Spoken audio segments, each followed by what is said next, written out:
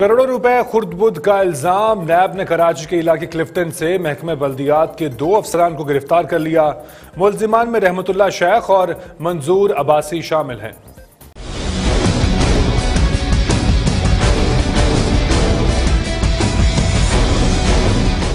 राय के मुताबिक मुलजमान पर मुबजना तौर पर करोड़ों रुपए खुर्द बुर्द करने का इल्ज़ाम है। मुलजमान ने जाली बिल्स के ज़रिए घोस्ट कंपनीज़ को अदायगियाँ की। रहमतुल्ला शेख को कुछ अर्सा कबल वजर अला सिंध ने अहदे से हटाया था। मंजूर अब्बासी नैब के केस में पहले भी प्ली बागिन कर चुके हैं। मुलजिम के खिलाफ आमदन से ज़्यादा सासे के सिलसिले में भी तहकीकत जारी हैं। जरा के मुताबिक नैब ने डी एम सी मलिर और वेस्ट के भी दो अफसरान को हिरासत में लिया था। दोनों अफसरान दो रोज काबिल जमानत काबिल गिरफ्तारी हासिल कर चुके थे। दोनों को हिरासत में लेने के बाद जमानत होने की वजह से छोड़ दिया गया था।